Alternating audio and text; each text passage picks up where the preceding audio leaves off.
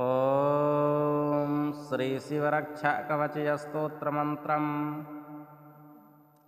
ॐ अस्य श्रीशिवरक्षाय स्तोत्रमन्त्रस्य याज्ञवल्क्यऋषिः श्रीसदाशिवो देवता अनुष्टुप्छन्दः श्रीसदाशिवप्रीत्यर्थे शिवरक्षाय स्तोत्रजपविनियोगः ध्यानम् चरितं देवदेवस्य महादेवस्य पावनम् अपारं परमोद्धारं चतुर्वर्गस्य साधनं।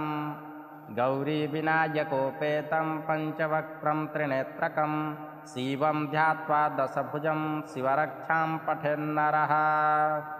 कवचम् गङ्गाधरः शिरः पातु फालमर्धेन्दुशेखरः नयने मदनध्वंसी कर्णो सर्पविभूषणः घ्राणं पार्दो पुरार्तेर्मुखं पातो जगत्पतेः जिह्वाम्बागेश्वरः पातो कन्धरं सितिकन्धरः श्रीकण्ठः पातु मे कण्ठम् अस्कन्धौ विश्वधुरन्धरः।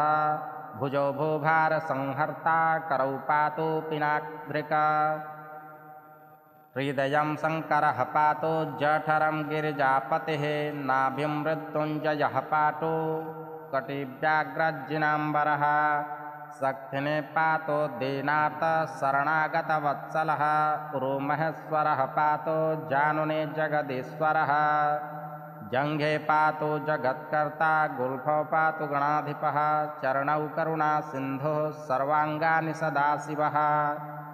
फलश्रुतिः एतां शिवबलोपेतां रक्षां यः सुकृतिं पठेत्। स भुक्त्वा सकलान् कामान् शिवसाज्यमाप्नुयात् ग्रहभूतपिशाश्चाद्धैस्त्रैलोक्ये विचरन्ति ये। दुरादासो पलायन्ते शिवनामाभिरक्षणाम्।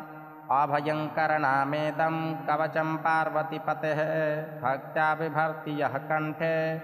तस्य वश्यं जगत्त्रयम् इमां नारायणः स्वप्ने शिवरक्षां यथातिशत् प्रातरुत्थाय जोगेन्द्रो याज्ञवल्ल्यकस्तथा लिखत्।